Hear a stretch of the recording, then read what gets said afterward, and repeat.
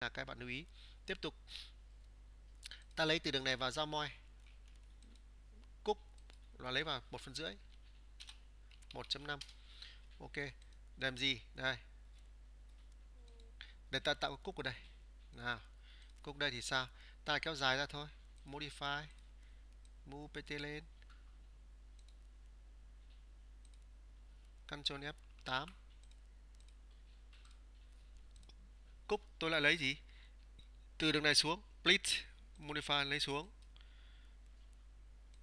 1.5 trên này, từ dưới đây cũng lên 1.5 và tôi tạo cúc đây. Tôi vào grid cycle, ta vào center. Cúc ở đây. Cúc đây tôi cho gì? 1 chấm rưỡi đi đây cúc to 1,5 à quên xin lỗi. Cúc chúng ta 1,5 thì chúng ta bán kính chỉ là bán kính chứ không phải là đường kính. Thì chỉ là 0,75 thôi. 0.75 ok. Và ta lại gì này copy là dán vào đây. Chọn lần lượt phải chuột một lần xong chỉ vào chi tiết đúng không? Phải chuột ok ba lần. Vậy là chúng ta có cái gì? Đấy, cái dán cây cúc khuyết này của thằng Gerber nó hơi phức tạp. Nó không như đích tra Optech dán một giây đục ngay. Thì bỏ cái om đi này. Để ta dán luôn cái túi vào đây. Cúc nữa đây. Lại chọn gì? Copy. Copy này, quên. Copy đường nhá.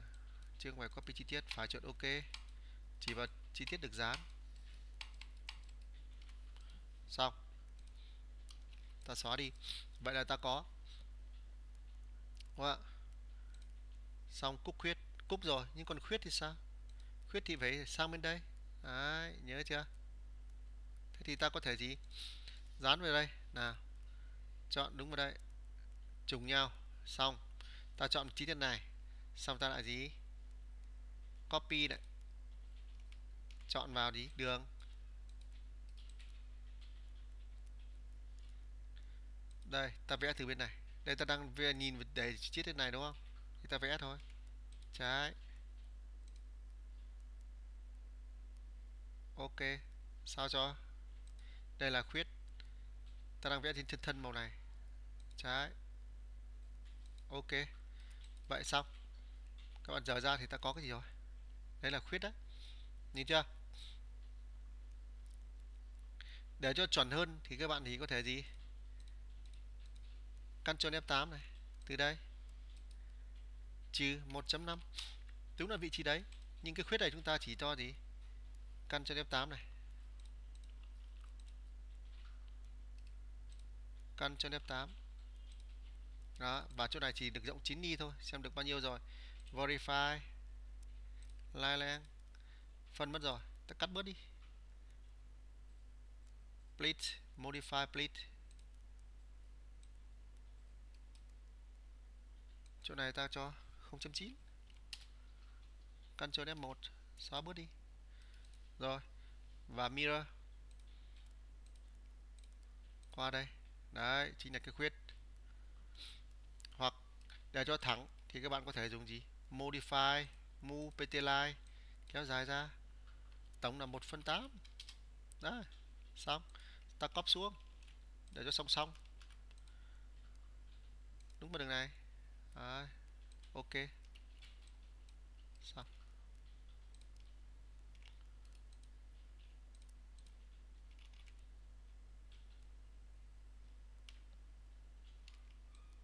Ok ta xong.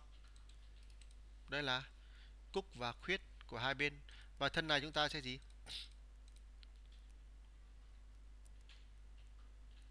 Shift F3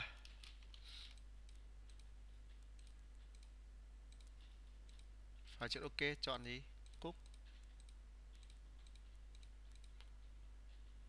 Và đặt tên cái này, bây giờ mới là cặp gì? Cặp trước trái nhân 1 nhân 2 ok. Shift F1 xong. Và thêm bấm vào. Not. Ok, xóa đi. Vậy chúng ta đã có. Xong. Và sau cái đường này này, nó đặt ở đây rồi. Đây, các bạn nhớ nhé. Nhưng cặp này nó có cái gì? Đường giao moi này chúng ta là thêm dấu bấm để 6 ly vào đây. Modify. Split. 0.6 và not. Vậy ta xong. Cặp trái và cặp phải và ta lại xoay lại chi tiết nhé xoay cây sợi này về vị trí ban đầu. Ship F5 Đấy. Đặt lại, ship F9 ship F5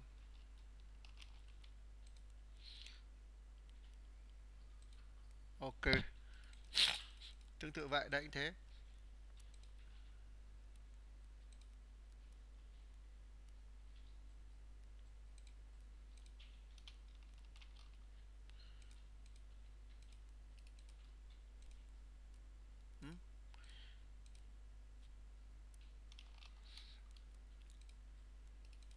Cái này phải giống cái này chứ.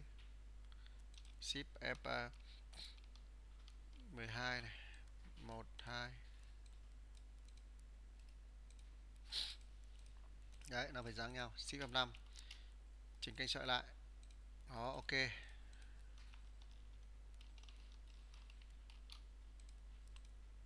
Ok, bài thân thức cặp trái cặp phải chúng ta đã xong tuần trước là chúng ta cũng sắp lại kênh sợi. Shift F5 Quay lại vị trí ban đầu thì cái chọn GR bit này. Bit này. Đó. Vậy là chúng ta đã xong.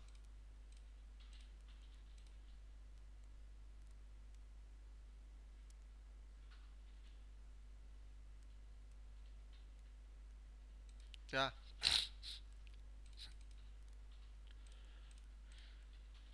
Vậy là chúng ta đã xong rồi đấy. Cặp trái, cặp phải và cặp gì? Giữa đây. Thế còn cái gì nữa không?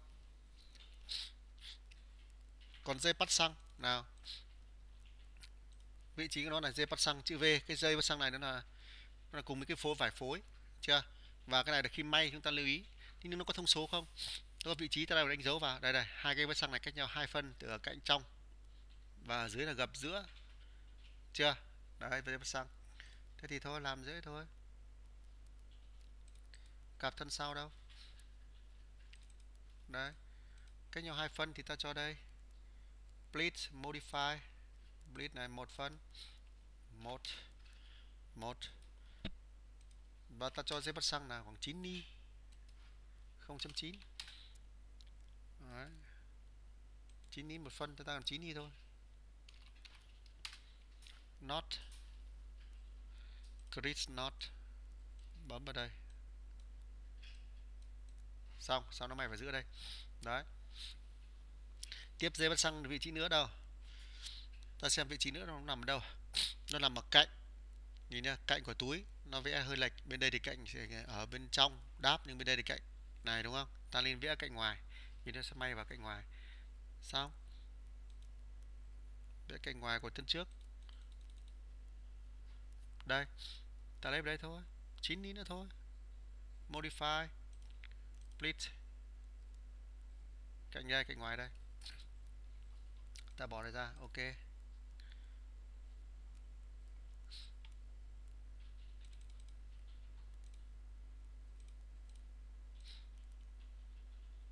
Modify. Split lấy 9 đi, not. Xong. Tương tự ở bên thân định thế.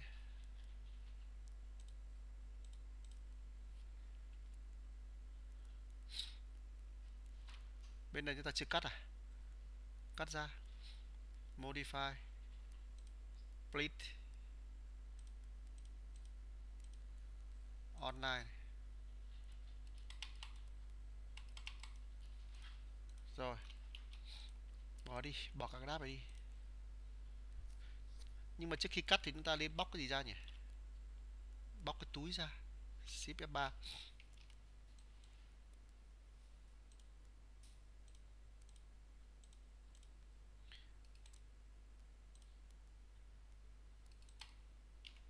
đây là nó túi L1 lót túi đấy. Lót túi chéo. Nhân 2 thế chạm. Xong. Xong rồi chúng ta mới lên cắt cái này ra. Split ta có lệnh là split ta vào online nghĩa là cắt theo đường. Ta không đánh tên. Và đây là thân gì? Thân phải nhân một. Đấy, xong. Xóa đi rồi ta có thể xóa cả đường này đi. Đó trái, thân trước phải. Và vị trí vắt xăng ở bên đây